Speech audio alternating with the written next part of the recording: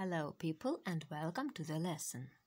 Today we are going on working with verbs with infinitives and gerunds, and we are going on doing some exercises, revising rules, and practicing our grammar skill. Итак, мы продолжаем работать с употреблением инфинитива и герундия, выполняем упражнения и тренируем наши навыки. Повторяем правила. Let's have a look at exercise 5, page 31. You are to open the brackets. Be very, very attentive. Будьте внимательны, когда вы раскрываете скобки. Правила можно положить перед собой, то, что мы брали на прошлом уроке, если еще не все запомнилось, и обязательно внимательно все проверять. Видео сейчас поставьте на паузу и хоть в учебнике карандашиком, хоть в тетрадке выписывая только формы глаголы, глагола, выполните это упражнение самостоятельно.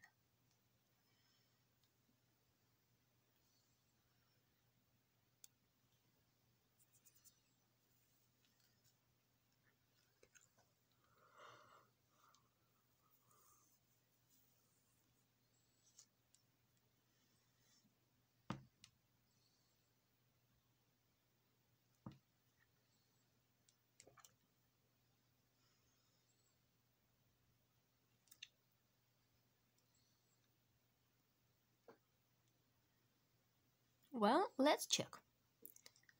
Do you want to go out tonight? Yes, I hate staying in on Saturday nights. I'm really afraid to do a bungee jump. Well, most people are nervous about doing new things for the first time. Oh no, I think I forgot to turn the t- off the TV. Don't worry, I remember you turning it off. I'm sorry to tell you this, but I think we have just missed the train. Well, it's no use worrying about it. We'll have to wait for the next one. I don't know what's wrong with my CD player. I just can't fix it. Why don't you try calling Tim? He's great at fixing things. I hope you managed without mistakes.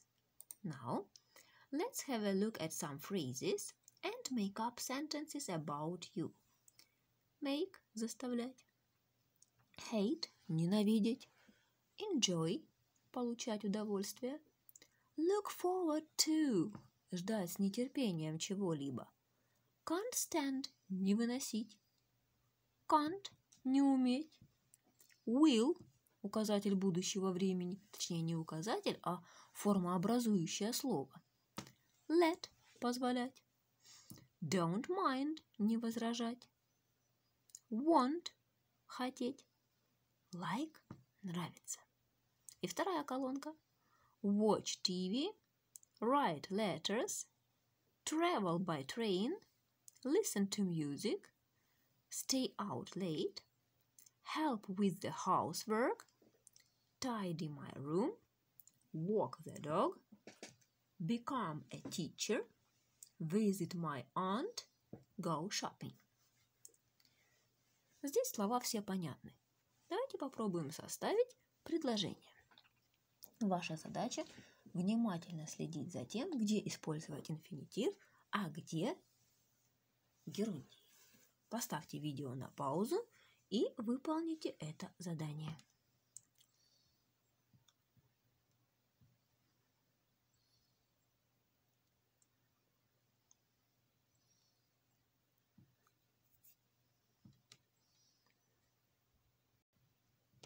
So let's make up several sentences. I hate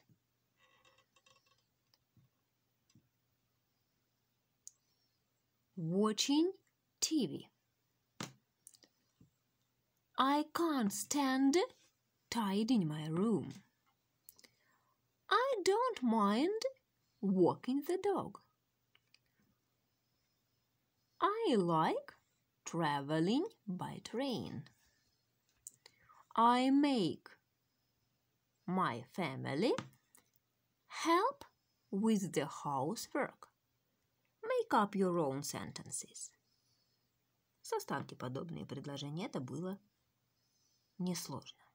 Now, you are to pay attention to such a thing. Обратите внимание на такую вещь, как иногда употребление герундия или инфинитива меняет смысл предложения. I saw John cross the street. I saw John crossing the street. Очень похоже, но значение совершенно разное. I saw John cross the street. Я видела, что Джон перешел на другую сторону.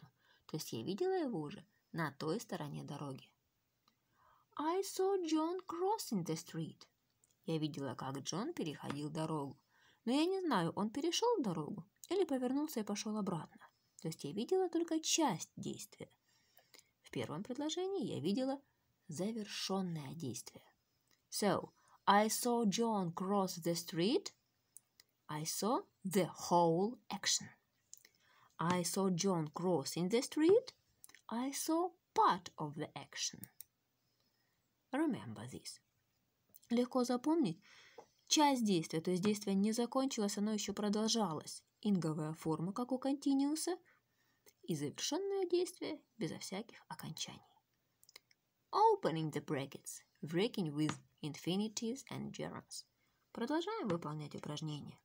Раскрываем скобки и используем нужную форму – инговую или инфинитив.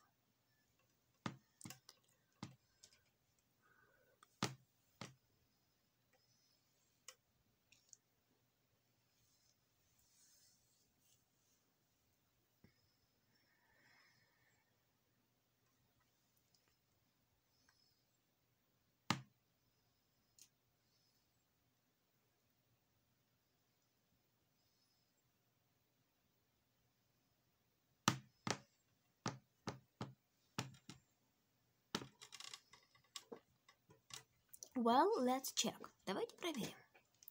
I think Tony's in the next room. I heard him talking on the phone a moment ago. Я слышала, как он разговаривал. Договорил, не договорил, непонятно. Harry felt something run across his hand, but he didn't see what it was. Он не видел, кто там по нему пробежался. Значит, действие завершилось. Mom could hear Kate singing in the shower while she made breakfast. We stopped to watch an artist drawing portraits in the streets. I saw the postman delivering the mail every day. Managed. Справились. Вспомним, Что такое too? Что такое enough? Too – слишком. Enough – достаточно. Итак, прочтем несколько примеров и объясним их. Helen is too tired to do any homework. She is so tired that she can't do anything. Она настолько устала, что ничего делать не может. This homework is too difficult for me to do. It's so difficult that I can't do it. Эта домашка слишком сложная для меня. То есть она настолько сложна, что я не могу ее сделать. He is clever enough to fix the TV. So he is so clever that he can fix it. У него достаточно ума, навыков, чтобы починить телевизор. She is not old enough to stay at home alone. She needs to be older before she can stay at home alone. Ей еще нужно подрасти, чтобы быть дома одной. То есть она слишком маленькая или недостаточно взрослая, чтобы оставаться дома самостоятельно. We've got enough sugar to make a cake. So we have got so much sugar that we can make a cake. У нас достаточно сахара. На торт нам хватит. Doing an exercise. Делаем упражнение. Перефразируем предложение. Mary is so busy that she can't come out tonight. Настолько занята, что не может выйти на улицу. Mary is too busy to come out tonight. Попробуйте перефразировать эти предложения самостоятельно. Видео поставьте на паузу и поработайте с изменением предложений.